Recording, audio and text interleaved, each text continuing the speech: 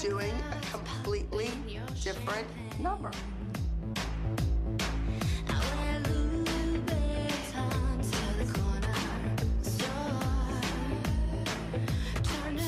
I certainly know when it's not my choreography.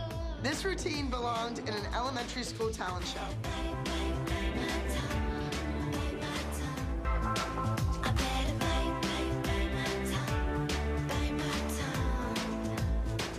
Rolling around, her feet are all sickled underneath her. She does the cartwheel over the chair into a side aerial, her legs are bent, feet are sloppy. Kelly, you're much more successful at the real bar, not the ballet barre.